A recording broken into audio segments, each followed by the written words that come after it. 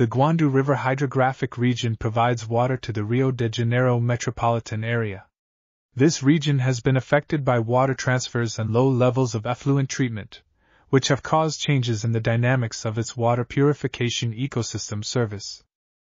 To analyze these changes, a methodology was developed consisting of reviewing studies of ecosystem flows, building a database, classifying impacts on water purification in hydrological planning units from a similarity dendrogram, analyzing indicators related to water demands and availability of these units, and developing an ecosystem flow diagram of water purification.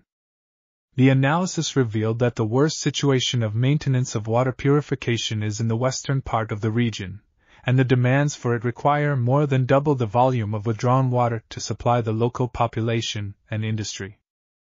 This article was authored by Fábio Miranda Gomes Xavier, Rachel Bardy Prado, and Elaine Cristina Cardoso Fidalgo.